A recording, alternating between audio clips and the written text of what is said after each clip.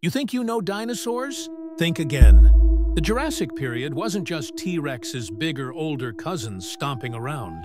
Scientists just unearthed a fossil that's flipping the script on everything we thought we knew.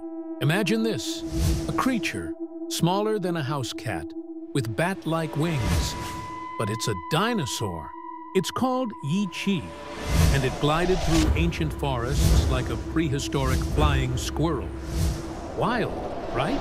And get this, fossils of Stegosaurus plates show they had a network of blood vessels, suggesting they might have flushed with color to attract mates or intimidate rivals.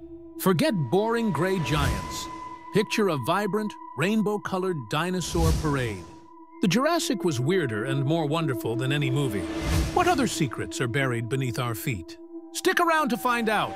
Don't forget to like and subscribe for more mind-blowing discoveries.